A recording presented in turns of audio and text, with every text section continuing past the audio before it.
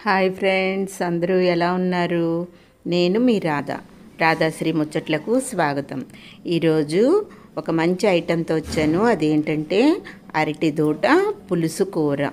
అది ఎలా తయారు చేయాలో చూద్దాము.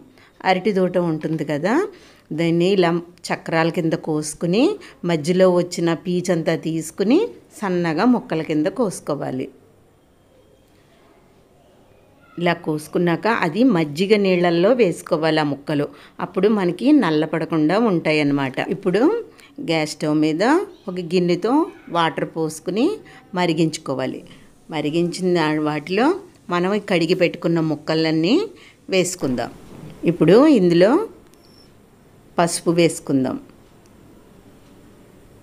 ఒక మూత పెట్టి ఉడికించుకుందాం. ఈ లోపల మనం కొద్దిగా చింతపండు ఆ ముక్కలకి సరిపడా పులుపుకి సరిపడా చింతపండు నానబెట్టుకోవాలి.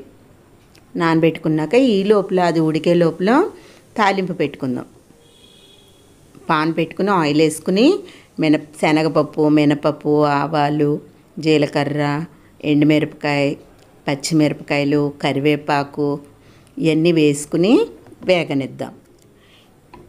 ఈ కూరల్లోకి పండు పచ్చిమిరపకాయలు అయితే చాలా బాగుంటాయి. కలర్ఫుల్గా ఉంటుంది టేస్ట్గా ఉంటుంది. ఇందులోనే ఇంగువ కూడా వేసుకుందాం. ఇవి బాగా వేగాక మనం నానబెట్టుకున్న చింతపండు గుజ్జు ఇందులో వేసుకుందాం. ఇది బాగా ఉడకనివ్వాలి. ఇందులో ఉప్పు కూడా వేసుకుందాం. అలాగే బెల్లం ముక్క చిన్నది. ఇష్టం ఉంటే వేసుకోవచ్చు లేకపోతే మానేయచ్చు. వేసుకుంటే టేస్ట్ బాగుంటుందన్నమాట. ఇలా మరుగుతున్నప్పుడు మనం ఈ ఉడకబెట్టుకున్న ముక్కలు ఇందులో వేసుకుందాం.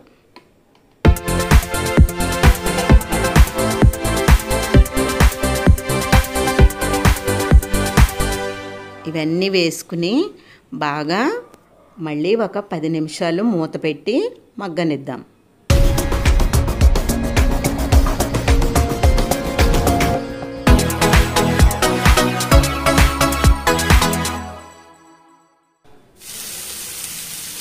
చూసారా? పులుసు అంతా ఈ ముక్కలకి పట్టేసింది.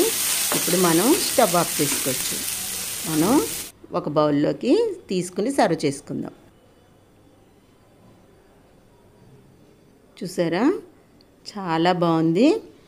టేస్ట్ కూడా చాలా చాలా బాగుంటుంది ఇది. మీరు అందరూ కూడా ట్రై చేసి చూడండి.